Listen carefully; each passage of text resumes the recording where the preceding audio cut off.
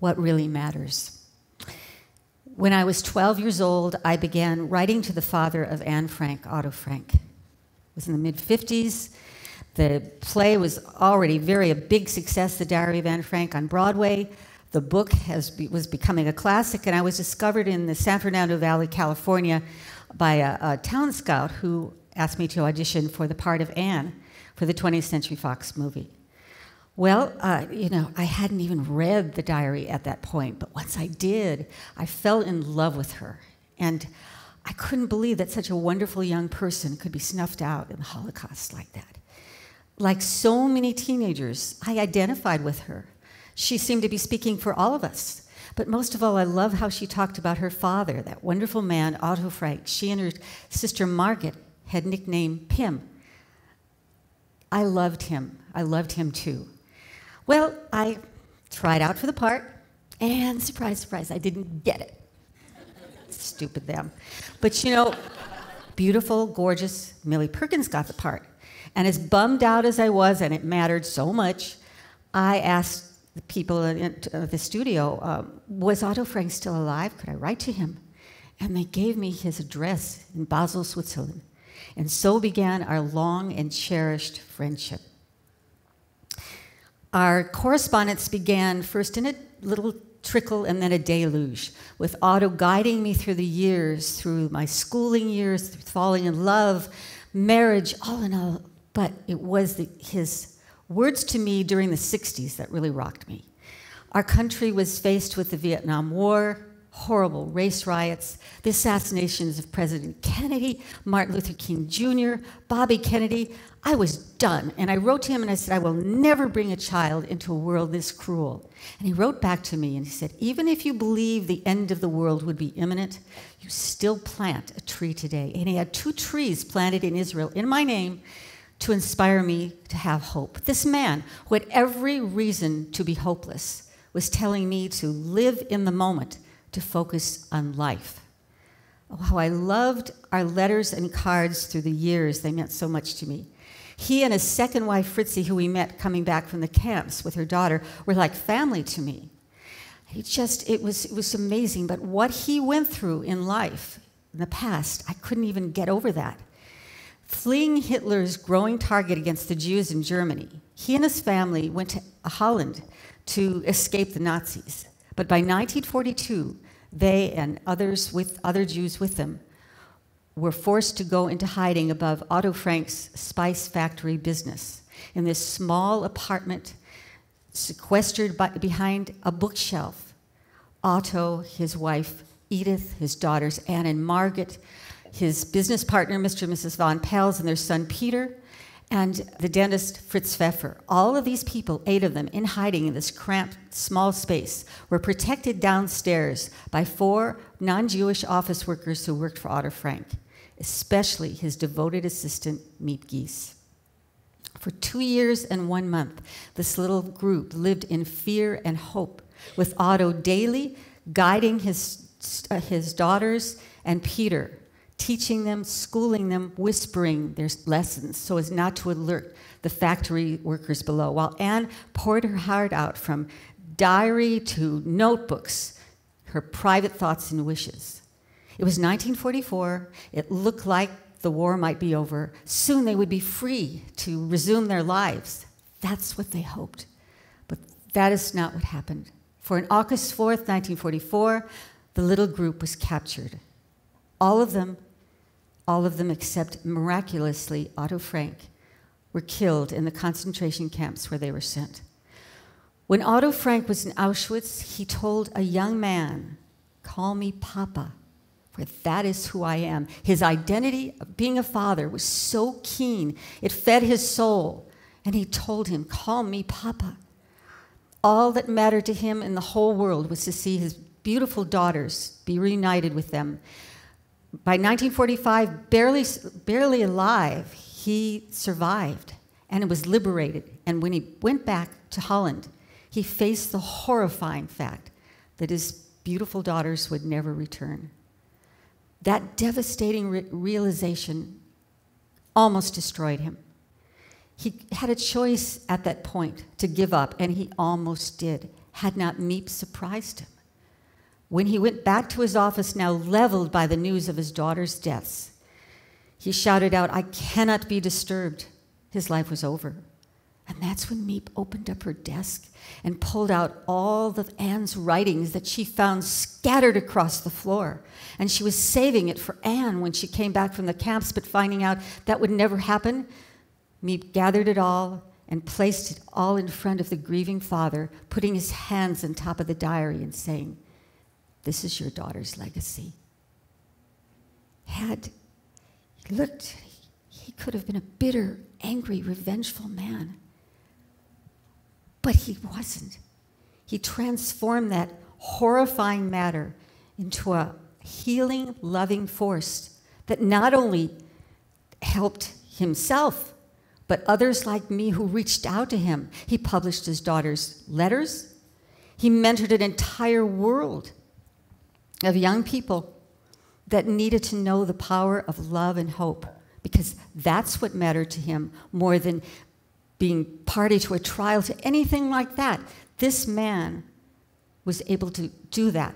When he looked at this diary and all that Anne had written, and he was in shock and tears, and he began reading her words, and he couldn't believe that this, the depth and sensitivity of this child that he loves so much. She wanted to go on living even after her death. And so he would honor her words. In time, Encouraged by family and friends, he published what became known as the Diary of Anne Frank. Now, years later, I had been writing to my beloved mentor for 18 years, and we still hadn't met in person. And I was preparing now to meet him at the Basel station in Switzerland for the very first time. And I was terrified. Would he be everything I hoped he would be? What would we say when we first saw each other? So I practiced scene A and scene B. Scene A was the, you know, the silver screen moment, the love fest. Scene B was the scene I absolutely hated. It was the, I gotta go, let's have some tea. Mm-hmm. You know, I hated that. But what would it be? Scene B, the formal handshake, or scene A, the happy hugs and tears? And then I saw him standing there, this tall, elegant, beautiful man I was speechless. I couldn't believe it. It was really him, Otto Frank, and he was smiling, and his arms were outstretched, and he turned to me, and I was in this great big bear hug of an embrace. God, uh, at last. It was scene A. It was scene A. Couldn't believe it.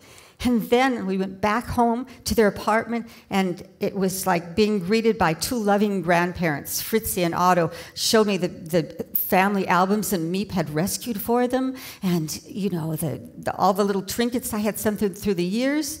And then he opened this great big cupboard door, and from ceiling to floor, there were boxes and boxes and boxes of letters. Uh, you're not the only one I write to all these years, Cara. Yeah, I know, but. And then he put this great big box in front of me and he said, And these are your letters. My letters. He had saved all my letters. It's not that anything they said was that great or mattered so much. It's just that I mattered to him. All of us who wrote to him mattered to him. We were able to help him continue being the parent he was meant to be. And he was our beloved father figure. But there was one moment that was transformative for me when I said to him, Otto, do you know who betrayed you? Because obviously, someone he might have even known had turned them in and collected money for all aid in hiding. Do you know who betrayed you? And he turned to me, dropping his voice, and said, It doesn't matter. And I remember screaming inside, It doesn't matter? Someone you might have known had caused the death of your daughters and all the others in hiding, and you're saying it doesn't matter? Well, I didn't say that out loud, but my heart was pounding. I couldn't believe it. But then I looked into his eyes, this beautiful man, and saw that pain. The man who had loved and lost so much. And I realized, of course it mattered. But would it bring his daughters and all the others back to life? No, it would not. There's an expression I like so much holding on to anger and hatred and revenge is like taking poison and hoping it kills the other person. In the end, it was his resolve to transfer all of that, all of that hate, into some loving force that saved me, saved others. He published his daughter's wor- words. He mentored an entire world of young people, all races and religions, that needed to know the power of love and hope because that's what mattered to him more than being party to a horrid trial or betraying uh, people that were innocent or losing his own focus and power. So he was right.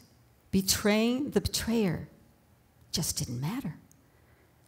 Now, years later, I was starting all over in my life, uh, and it felt like Otto was still guiding me to plant that tree of hope. I was facing divorce and fear, and simultaneously, I was being encouraged by others, including the Frank family, to publish a book about our long friendship and all that Otto taught me. And I was scared because I, you know, I didn't want to fall into this pity party thing that I was feeling, but remembering all that he had gone through and remembering that he survived it, not only survived it, but he grew from it. If he could get up off the floor after all he endured, then so could I. His words, it doesn't matter, rang through me like a mantra. I want to share with you a, a brief ego buster that I experienced at that time. I was starting over in a small Monterey town, gaining brief notoriety as a published author, and I prayed, oh, please let that be my Oprah moment. But I was struggling, and so I took every and any job I could find to support my six animals and me. One of them was banquet server at a large Monterey hotel. So there I was in my black and white uniform, looking like a five foot one penguin, and I looked out into this vast conference hall and saw what appeared to me the entire Monterey Peninsula sitting in a sea of tables. And I turned to my team and said, I can't go out there. They know me as a successful author, and look at me, I'm just a loser. And that's what this wise server picked up a basket of bread and she handed it to me and she said, she practically shoved me out to my waiting tables, whispering in my ear, It doesn't matter. And there it was. It was like she was channeling Otto with those healing words. It doesn't matter. My ego had convinced me that being an author mattered, and yet being a banquet server at that moment in time was exactly what I was supposed to be and do. What matters the most are the positive choices we make in our lives. It's a chance to really savor the senses we have to heal, to, to hear, to see, to touch, to feel, or pick up a basket of bread set it on a table just so when no one knows or cares who you are. Life is all about making each moment matter. That's what Otto Frank did. Look, do I like watching myself get older? Uh, not so much. But I'm doing all I can to be grateful and to make seeing matter and hearing matter and breathing matter and listening matter and loving matter. If I'm wringing my hands over what I've just seen and heard on TV or online, that I'm facing each moment blind, deaf, numb to the beauty before me. Look, horrible things are happening on this planet all the time. But it's the choices we can make in our own lives that heal and fuel us and give us the strength to not only help others, but help ourselves focus on what really matters the most our loved ones, animals, nature, the pavement after a rain, laughter, music, all of it, life. Most of the time, when we step outside of ourselves and focus on the very what is before us, we uplift ourselves and everyone around us. I want to read this excerpt from Anne Frank's diary. It touches me so much because it says exactly everything I believe.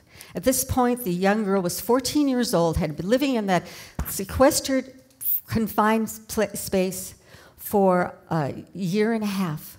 She was 14 when she wrote this.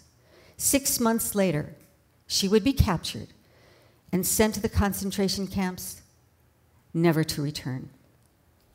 My dearest Kitty, Feb- Wednesday, February 23rd, 1944.